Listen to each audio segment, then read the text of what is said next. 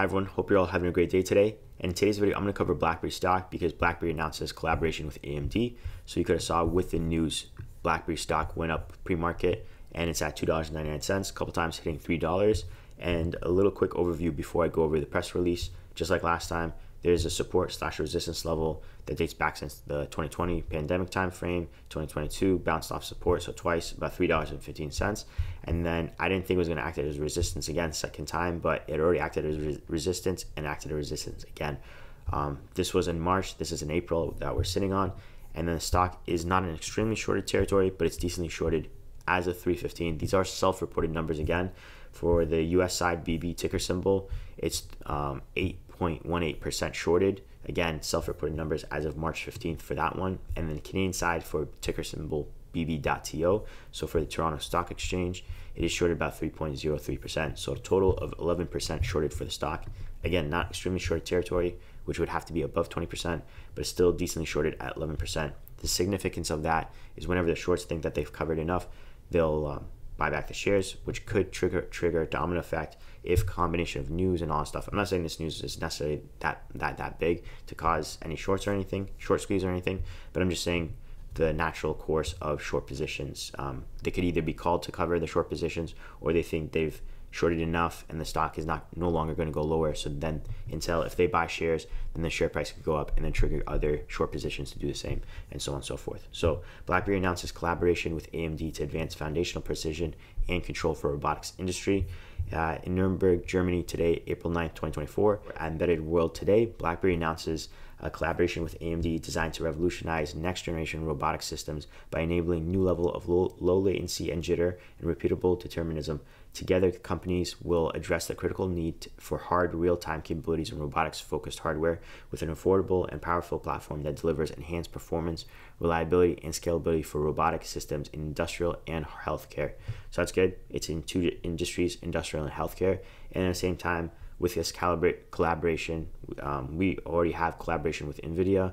Now it's AMD and then at the same time it's subsystem with ARM from what I read earlier. So the platform combines BlackBerry QNX Enterprise in real-time foundational software solution and QNX software development platform SDP with heterogeneous hardware solution powered by the AMD Kria K26 SOM that features both ARM and FPGA programmable logic based architecture um, with Kria and ARM subsystem can power the advanced capabilities of the QNX kernel real-time operating system (RTOS) while allowing users to run low latency deterministic function of the program programmable logic of AMD Kria KR260 robotics starter kit. So again, partnerships are growing, which is awesome. Again, they're partnered. Uh, they've like collaborations in terms of with um, Amazon for with BlackBerry Ivy. The partnerships is constantly growing, which again we want to see revenue growth but it's nice to see all these collaborations overall. This combination enables sensor fusion, high performance data processing, real time control, industrial networking, and reduced latency in robotics application. Additionally, customer eh, customers can benefit from seamless integration and optimization of software and hardware comp components, result resulting in streamlined development process and accelerated time to market for innovation robotics solutions. And um, it just reminded me of something about streamlined and all stuff because Stellantis also is working with BlackBerry. Um, just because some things have been streamlined working with BlackBerry in terms of using their tech. At the same time, I'm not a professional, so please do your own due diligence and research before buying and selling. This is all just my opinion. And at the same time, I do own shares in BlackBerry stock, so keep that in mind while you're watching this video as well. So with QNX and software development platform, customers can start development quickly on the AMD Kria KR260 starter kit and seamlessly scale to other higher performance AMD platforms as their needs evolve. Uh, said um, Cheta Khona, sorry for mispronouncing that, Senior Director of Industrial Vision, Healthcare and Science Markets, AMD. Uh, combining the industry-leading strengths of AMD and QNX will provide a foundational uh, foundation platform that opens new doors for innovation and takes the future of robotics technology well beyond the constraints of experience, uh, constraints experience until uh, now. And an integration solution by BlackBerry QNX through our collaboration with AMD will provide an integrated software hardware foundation offering real-time performance, low latency, and determinism to ensure that critical robotic tasks are executed with the same level of precision and responsiveness every single time. I said Grant Courville, VP Product and Strategy at BlackBerry QNX. These are crucial attributes for industrial uh, industries carrying out final uh, finally tuned operations such as the fast growing industry of autonomous mobile robots and surgical robots. Together with AMD, we are committed to driving technology advancements that address some of these most complex challenges and transform the future of robotics industries.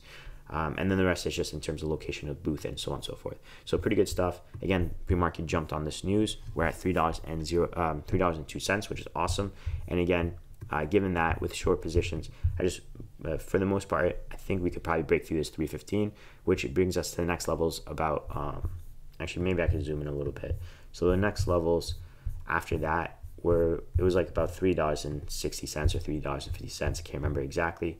So we're yeah three dollars and sixty cents. There are low lower levels too at the same time, like three dollars and twenty eight cents. But we're looking at to break roughly about 360, 370, 380 um, price points. But again, these are not hard resistance levels or anything.